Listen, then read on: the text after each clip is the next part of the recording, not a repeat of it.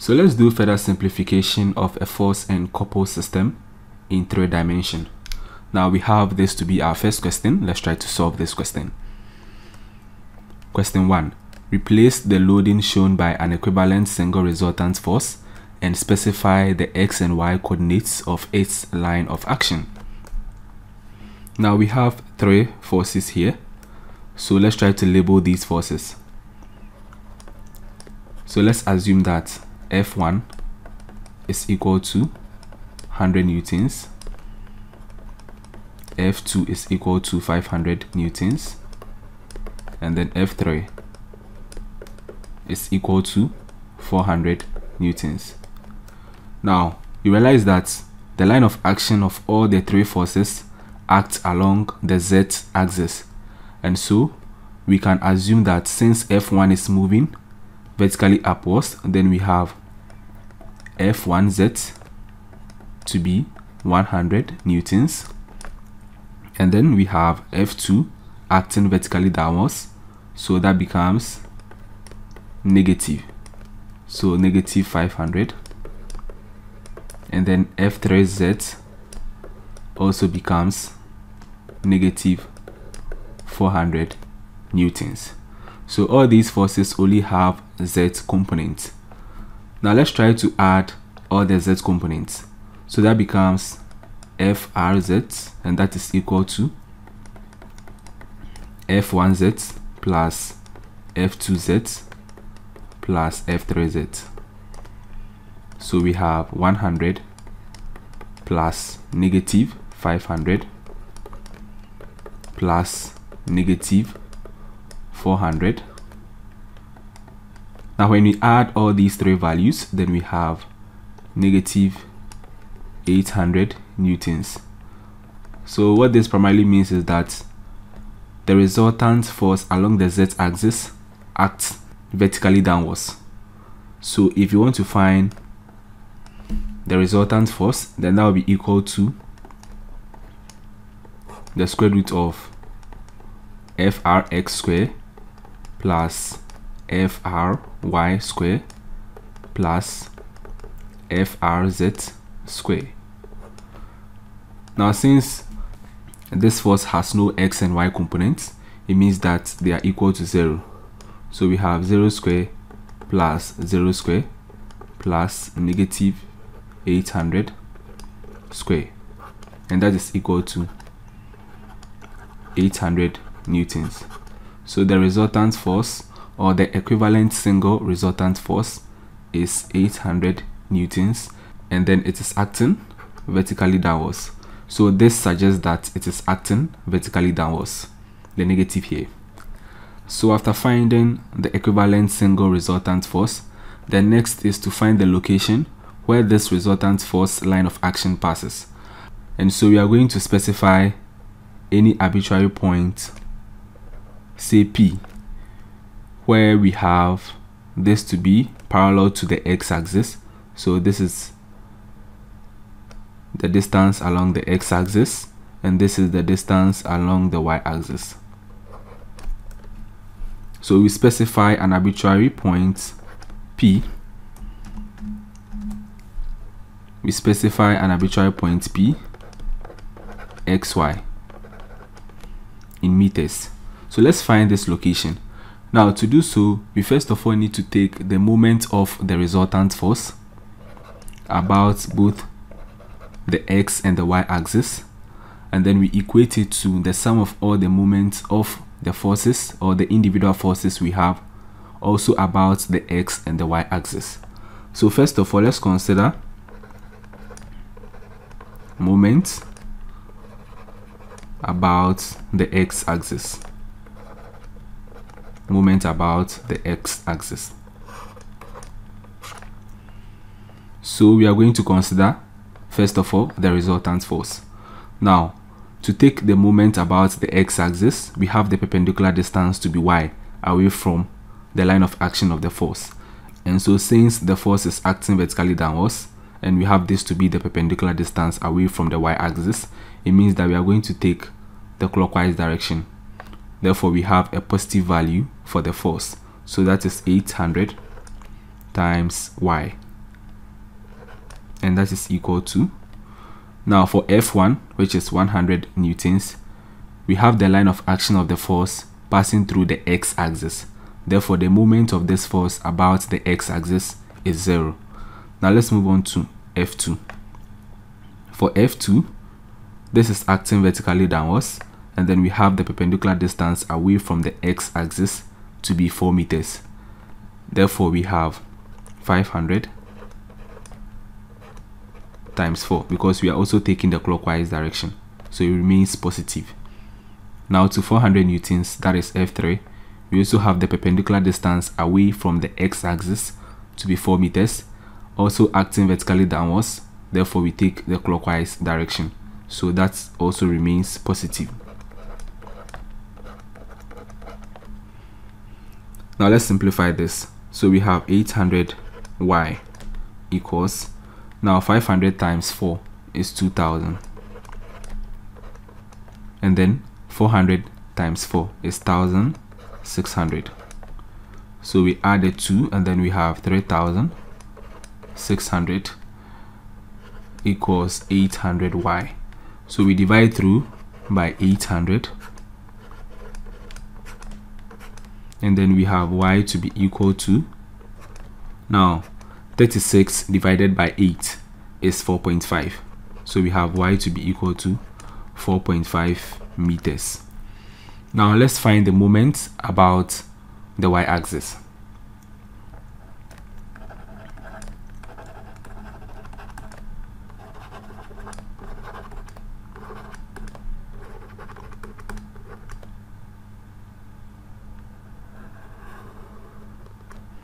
So also taking the moment about the y-axis, we consider the resultant force first. So we have the resultant force acting vertically downwards. The perpendicular distance from the line of action of this force to the y-axis is x meters. Therefore, we are going to move in the anticlockwise direction. So we have negative 800 times x and that is equal to for F1, 100 newtons, we have the force acting vertically upward, which means that if you want to take the moment about the y-axis, you need to move in the clockwise direction. The perpendicular distance from the y-axis is 3 meters. So we have 100 times 3. F2, which is 500 newtons, is acting vertically downwards. Perpendicular distance from y, or the y-axis, is 4 meters. So we are going to move in the anti-clockwise direction, which makes it negative. So negative 500 times 4. Now the line of action of this force F3 passes through the y-axis. So the moment of this force about the y-axis is 0. So let's proceed.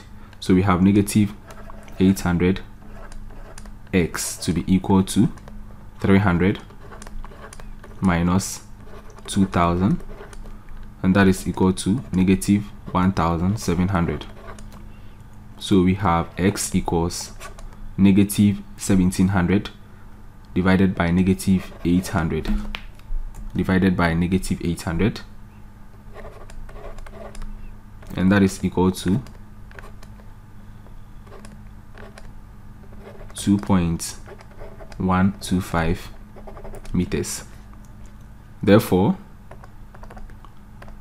the equivalent single resultant force FR which is 800 newtons and then directed vertically downwards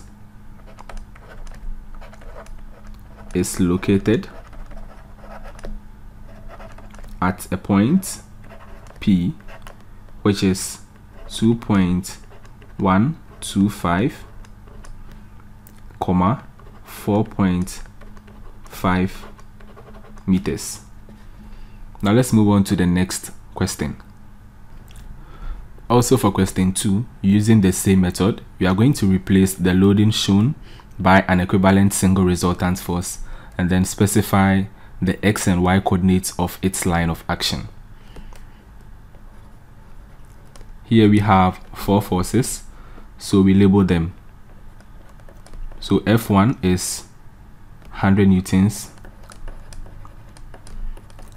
F2 200 newtons. F3 200 newtons. And then F4 100 newtons. So as usual we have all the forces acting along the z-axis so F1 Z is equal to downwards which means negative 100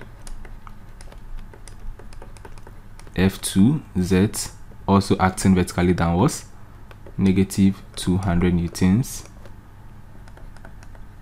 F3Z negative 200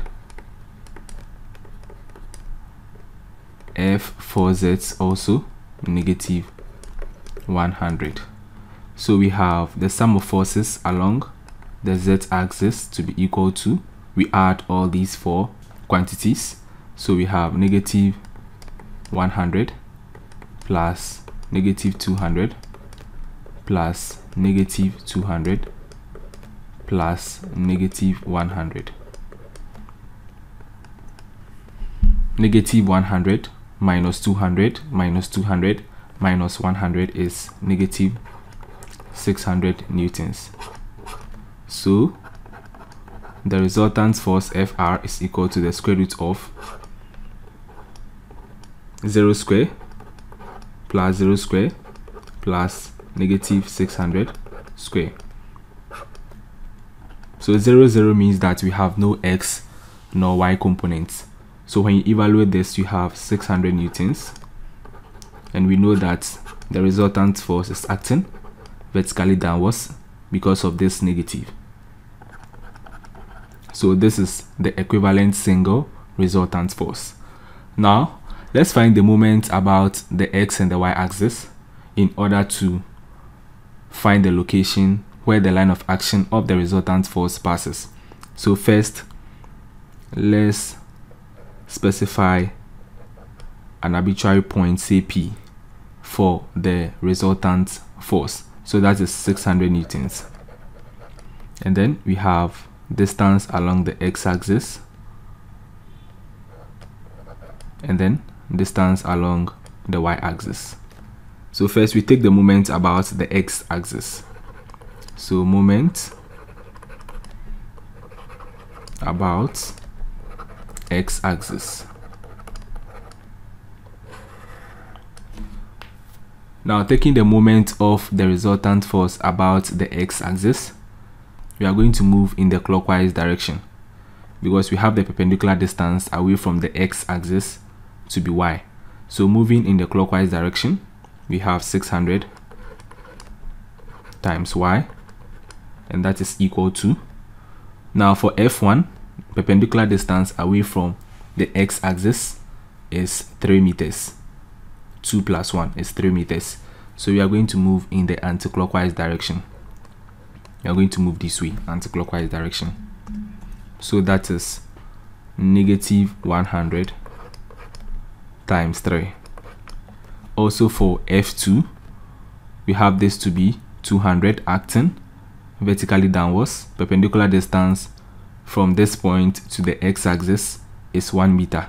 Since we are moving in the anti-clockwise direction it means that we are going to have negative 200 times 1 now also for this 200 newton force we are also going to move in the anti-clockwise direction.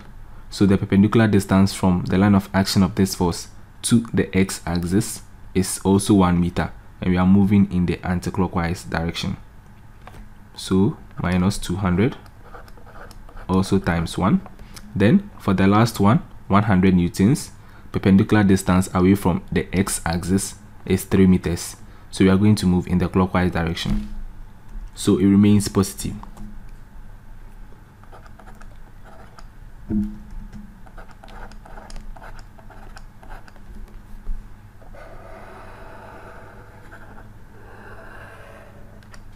So let's evaluate this. We have 600y equals negative 300 minus 200 minus 200 plus 300 So negative 300 cancels out positive 300. We are left with negative 200 minus 200 and that is equal to negative 400 equals 600 y. And so we divide through by 600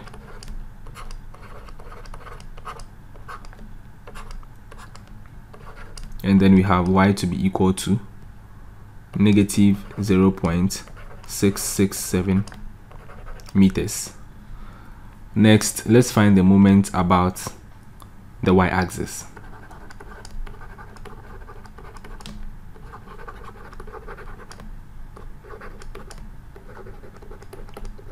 So for the moment about the y-axis, we have 600 acting vertically downwards and the perpendicular distance away from the y-axis is x meters.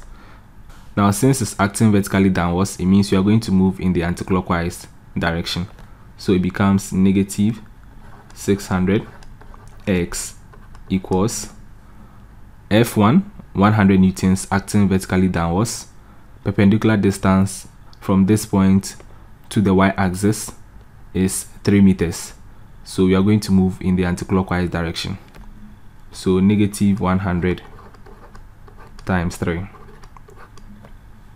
for this 200 newton force perpendicular distance to the y-axis is 2 meters. We are also going to take the anti-clockwise direction. So minus 200 times 2 for this one we are going to move in the clockwise direction because it's acting vertically downwards. Now the perpendicular distance away from the y-axis is 3 meters. So we need to move in the clockwise direction. So that becomes plus 200 times 3.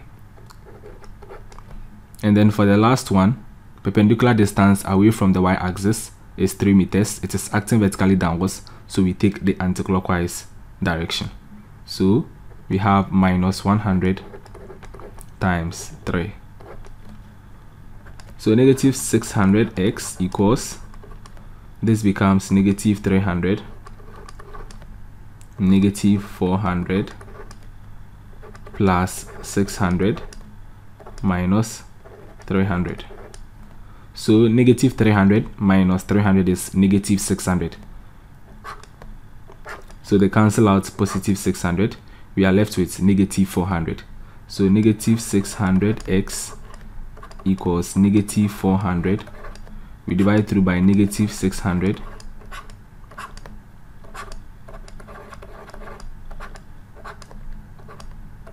And then we have x to be equal to 0.667 meters.